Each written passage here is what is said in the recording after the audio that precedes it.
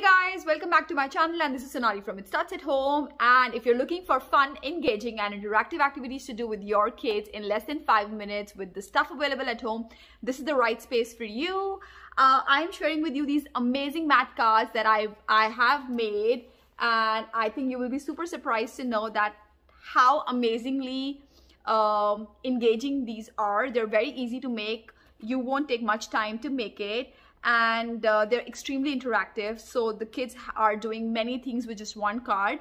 Uh, maths is something that everybody needs to practice almost every day. You are revising either you're doing your homework or you're learning something or you're practicing something. With these cards there are so many concepts that can be done in just one day and one card or two cards is more than sufficient for the kids to begin with. You can um, uh, definitely improvise the cards according to your child's age but the ones that I have made would be for um, I would say at least six plus but seven to eight years minimum for the ones that I have made but you can definitely improvise.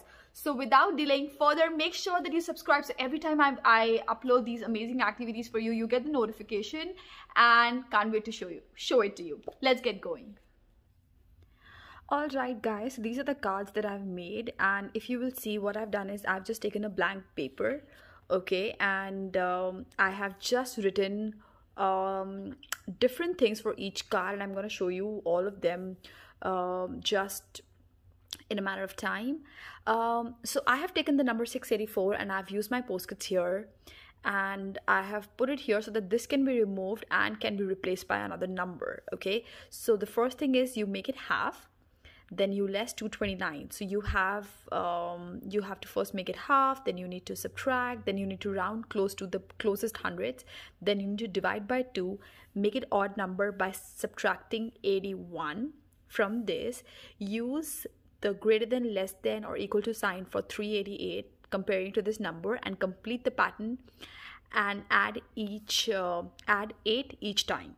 So there are seven things that needs to be done with just one number so i would say like this is going to be super interesting for kids. These are can they can be like amazing observe and solve cards. You can make it for your kids with smaller numbers if you think and you can definitely change them and i'll show you how. Um, let's move forward and see the second card okay so i have used the word now the number 442 and it is add 80 divide by 2 make it 40 less mark the tens place complete the pattern add 15 each time use greater than less than make it into an odd number.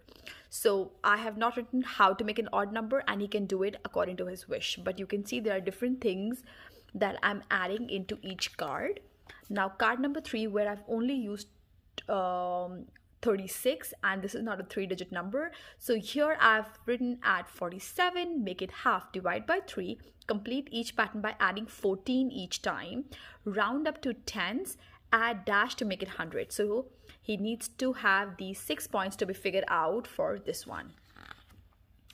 Okay now we have 105 this says make it 200 by adding add 44 divide by 5 um, make sure you subtract less is 64 round up closest to 100 one thing that you have to make sure that when you're doing this um, when, when you're making it is I'm not giving away a lot of things like less 64 I'm not saying minus. Round up to closest hundreds um, it could be more it could be less but when you have to do round up to closes it's like you have to observe this number and then do it. So that's what if your child has already been doing all these things that's when it will be helpful.